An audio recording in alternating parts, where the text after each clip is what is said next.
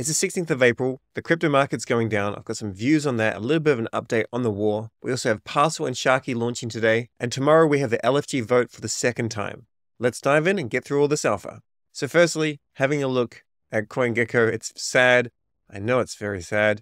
There was like a nice little pump and everyone got excited. And now just look. Oh, devastating. Absolutely devastating. My poor bonk position. What is this down? Oh, goodness. Oh, goodness. I did not do a smart thing with bonk. I'm guessing no. Well, you win some, you lose some. We'll go into the war in a in a quick second. However, you can see that Solana bounced up and then it's it's just shot right back down. And because it's a newer token compared to say Bitcoin, ETH, BNB, the dumps can quite often be significantly larger. So, you know, really quite massive. Let's have a look. Where's Matic doing all this? They're doing not too bad, really. So this is where we are at the moment.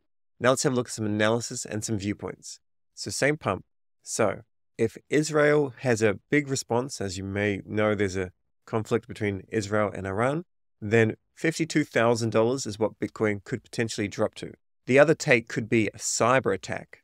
So, as opposed to just going straight into war, just attacking the internet of the country, you know, whatever they want to do, it could be far more just working on closing down the infrastructure, putting some viruses into the computer, that sort of stuff. Let's have a look at this take. Now, personally, I don't want to be covering war. I don't think anyone really does. And it's certainly something that I know nothing about, to be perfectly honest. So, all I can really do is find potentially good information that has a history of being good, and maybe it's going to apply because history often rhymes. It doesn't repeat, but it rhymes. So, as an example, this one here from Alex says, most likely scenario, according to the geopolitical outfit Greenmantle, never heard of them, is escalation. These guys nailed the Ukraine events in real time. Israel retaliates, driving Iran to attack again. The key question is then if the US gets entangled or not. So let's have a look here. Here's a big list of potential things that's happened in the past. And then here's a little bit of a breakdown of what potentially could happen. I think it is likely that Israel will attack back. And although that means a lot more destruction in the Middle East, stocks going down, markets going down, crypto going down, I still think that's what's going to happen. If you need to, go and watch some videos regarding Israel and the Middle East, how it all works. There's definitely a massive amount of tension there. You essentially have this major region, and it's always been at conflict for thousands of years. Then in the middle of it, you've got a different religion, the Jewish state. So I won't get involved with anything political. The best situation, of course, would be no war. But people are tribal, they have to protect what they want to protect, and I think war is likely. Alex also says down here 57 to 58K in terms of Bitcoin if there's a strong response from Israel, and if the US gets involved, 52,000. And we move down a little further, and Alex has sold three quarters of his Solana. Long term, personally, very bullish on crypto, very bullish on Solana, of course. But you just have to be aware of what's going on out there and how world economies affect all these things, this magical internet money. In other news, it seems as though there is a Chinese Bitcoin and Ethereum spot ETF. This is just from my research assistant, so I haven't actually gone and double checked how accurate this is. It seems kind of massive, to be perfectly honest. These apparently have been approved by the Hong Kong Securities and Futures Commission. Now on to on chain stuff. So, Parcl's launching later today. Sharky has already launched. And tomorrow we have Jupiter voting with six candidates, including Sanctum, Nine Heroes, Up Rock, and others. So we'll start off quickly with Parcl. Overall, a lot of bullish sentiment for Parcl, in my opinion. The claim goes live at 12.59 UTC, and then you can start trading on Bybit and centralized exchanges at 1 o'clock. Just go to app.parcl.co or just find the official link from Parcl's Twitter and you can go and claim your parcel right here. If you have any points, you need to have more than 6,000 points, and then just go and claim your parcel. To find out what addresses are actually eligible for parcel, go and use Z's airdrop checker, just airdropped.link. And as mentioned, this is basically how the allocation's going to be. The top five wallets get a massive amount. They provided an insane amount of liquidity, did an insane amount of trades. So I think this is certainly worth it, to be honest. And then 48% get this amount, and then these smaller wallets, they only get 20 parcel each. In terms of NFTs, the parcel NFT, if you diamond handed it, you get a little bit more parcel. If you hadn't had it for quite as long, then you get 420 parcel. And if you own a Mad Lad it's 150 parcel. Here's the official doc on the distribution. Now, personally, I'm going to be holding on to my parcel. We've got rental markets coming, token perps, foreign exchange, and an insane amount of value will come, in my opinion, from parcel. Then, if you want to, you can go and trade on Backpack. If you get your trading volume up with Backpack, then you're likely going to get some sort of future token airdropped from Backpack. Of course, you can go to OKX if you like, but Bybit has a decent reward here 50,000 USDT in the prize pool. But as I don't plan on going there, I have no idea how you would qualify for that. Maybe you've got to be a big trader, or maybe it's kind of just shared. And KuCoin is also going live. Now, if we go to Whales Market, we can see that the price is currently trading at around 80 cents. And this was quite a bit higher last night. So let's scroll on back, see if we can go back to yesterday. It was about $1.30 or so. Maybe, maybe dollar, dollar 20. We could say a dollar 20. Of course, overnight, war escalations, etc., and prices in general have dipped. Now, Sharky has been launched with the official LFG website. You can check your airdrop allocation here. And if you're a Jup staker, then just remember that active staking rewards will come to you in the future, as an example, July or maybe later. So every time someone uses the LFG Launchpad, a certain amount of the supply of the tokens goes to Jupiter. The majority of that goes to the DAO and gets distributed however the DAO wants to distribute it, and a small portion goes to the team. Personally, I think the actual launch time was really strange. 10 a.m. UTC basically means that America's still asleep. And if we're looking at the official link here, we can see they had the goal of basically getting $5 million worth of USDC, in which case you would need to get the price to $1.60. It got up to maybe like 90 cents and now it's coming back down. Personally, I don't have any allocation of Shark and I'm not trying to get any Sharky. As for the tokenomics, I think it took a little bit of time for these to actually come out, which is not a good thing. 100 million Sharky hair, airdrop 7.5%, and then the rest of the details. Sharky itself was trading for about $1.50, actually higher than that on Whales Market, so you could have sold your allocation nice and early.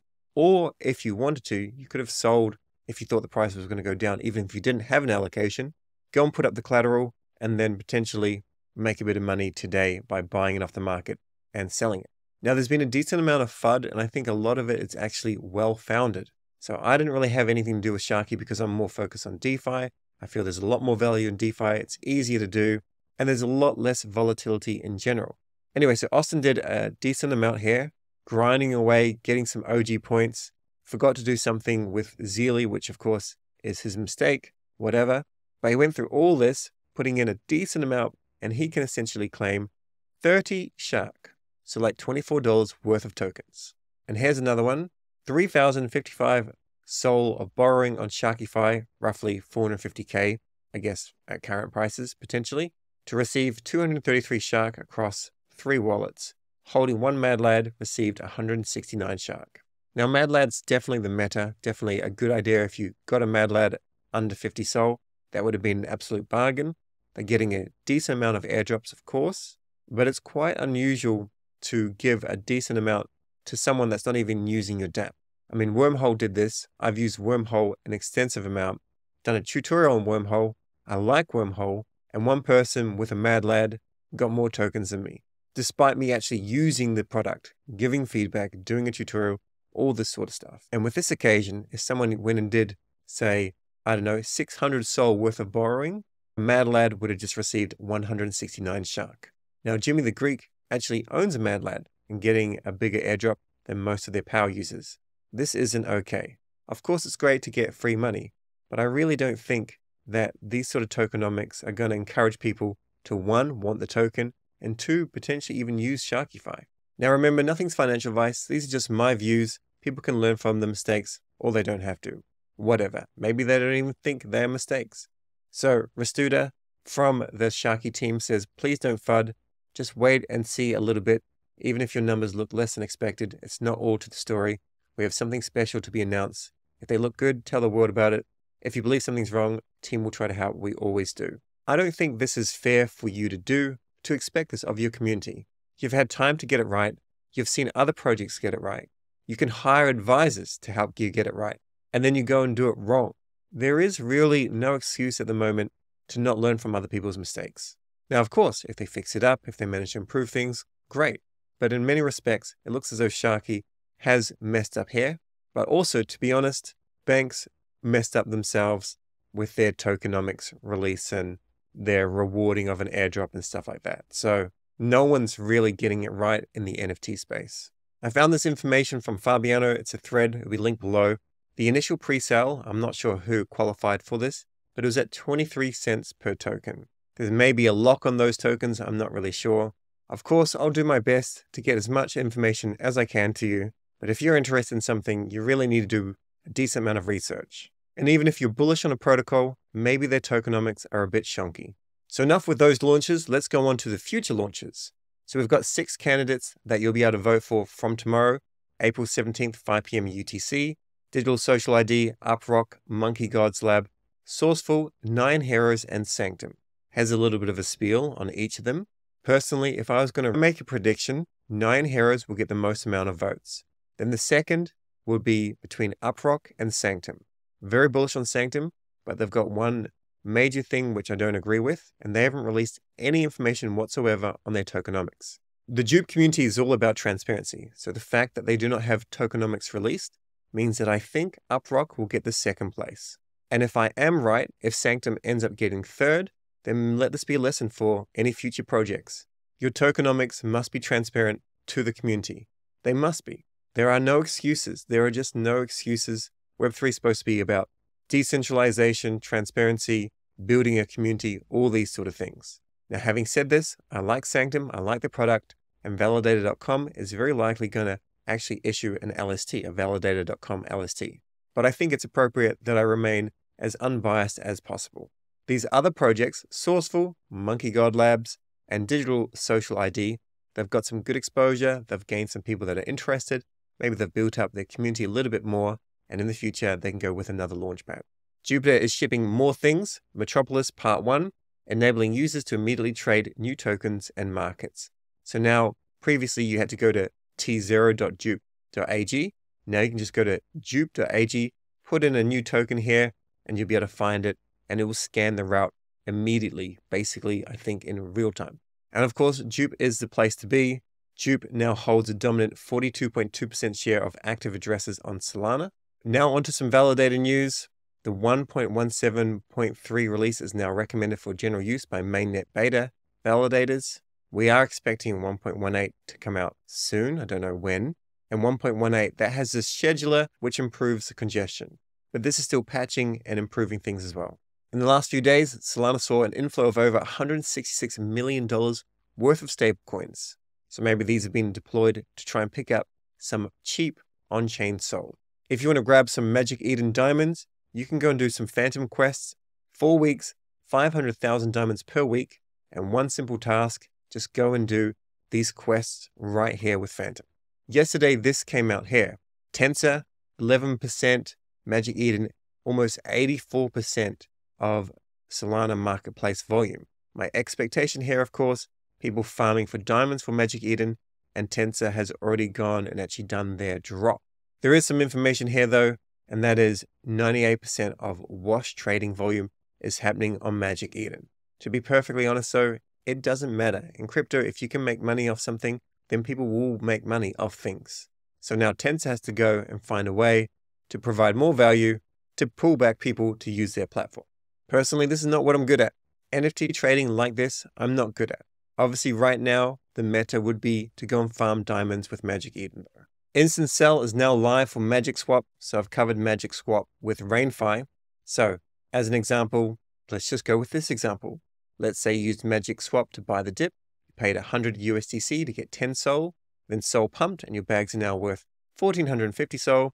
Before Instant Sell, you would have to find to pay back your debt and receive the tokens, and now you can just go and sell them, repay the lender, and bank with that profit. So another cool feature is being shipped by RainFi. If you want to witness the fitness, get amongst it, then join Moonwalk's first public and sponsored game with an added bonus for participants who compete in Dubai. Winners who are physically playing in Dubai based off time zone during the game will split the $7,000 sponsored pot. The entry fee is 0.5 SOL. The step goal is 10,000 steps. It's only happening for three days. and this is the game code and it's public. So just to make it really, really simple, even if you're not in Dubai, you can join the game and play against the other players. You just won't have access to the additional sponsor pot. Asset Dash has come with a feature, MemeFlow. MemeFlow is a meme coin accelerator powered by Asset Dash and Elements. They go and identify and partner with select meme coins for MemeFlow, and then they have some vesting partnership with this. This looks like a really popular, cool idea, so we'll have to see how it goes. Radiance DAO and Phase Labs are introducing the Bonkathon, April 29th to June 10th. So this is a six week hackathon, which is a decent amount of time, focused on expanding the Bonk ecosystem. We don't have any details on it at present, but I imagine there's going to be some decent prizes and well worth entering if you've got something with product market fit. Now your actionables for the day. Number one, check and claim your parcel allocation. Personally, I'm probably not going to sell any of my parcel. I think it's undervalued, so I'm going to hold it. Sign up for Parcl's Drip. I mentioned this yesterday, but just go to drip, so drip.house, drip.haus, and go and sign up and subscribe for Parcl and their actual drip house. So go and subscribe for Parcl's Drip. The first one should be coming tomorrow. Claim your shark at lfg.jup.ag if you're eligible to do so. I think the cutoff date is the 30th of April. And try Magic Eden and Phantom's Diamond Quests if you've got the time and if you're into this sort of thing. That's all for today. Just remember, right now, there's a potential for another war to be starting properly. So we could see lower prices. Ensure that your leverage is not crazy unless, of course, you know what you're doing. And if you don't want to be liquidated, make sure you've got enough collateral to avoid any liquidations if you're borrowing some USDC based on Sol or something like that with Kamino as an example. I'll catch you tomorrow.